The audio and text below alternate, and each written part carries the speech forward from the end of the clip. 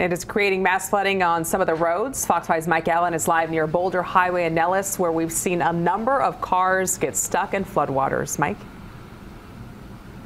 Lots and lots of cars were stuck on our way here from the station, which is about three, four miles away.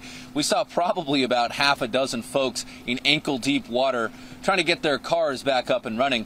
I'm going to show you what it looks like here just south of Nellis and Boulder Highway. This is as close as we could come while still keeping our ankles dry. And honestly, I could probably even say our knees. You see some of the workers there up in basically calf deep water.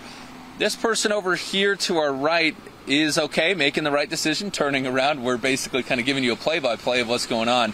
About 80% of the folks, uh, before that caution tape went up, were turning around. About 20% did try to make it through, but that caution tape went up about 10 minutes ago. So now you haven't seen anybody try to make it. And of course, that blue car serving as a reminder of what could happen. Again, this is just south of Boulder Highway and Nellis. We're on a side street right now, so it's not just the major intersections that you want to avoid. Don't go out at all if you don't have to. This is every single place that we've seen, essentially every other block looks like this. This is probably one of the worst.